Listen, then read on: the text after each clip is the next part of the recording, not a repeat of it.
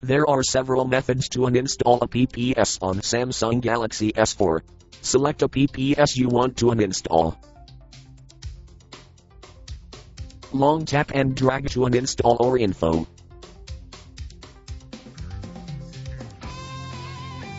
You may want to tap the clear data and clear cache buttons first before getting an install.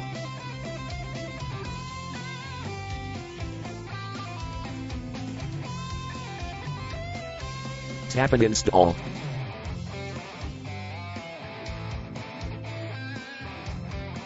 Other methods. Tap apps.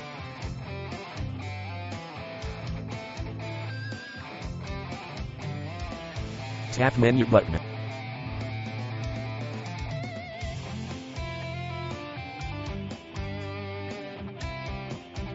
Tap and install slash disable apps.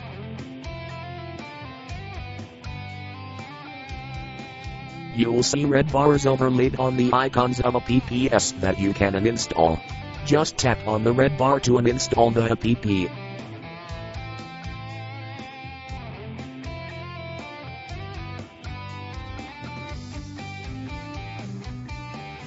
Thank you for watching.